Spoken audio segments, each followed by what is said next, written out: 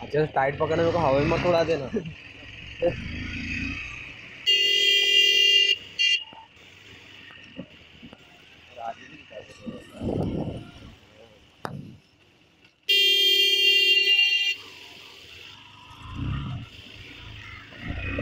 दिखाना है ना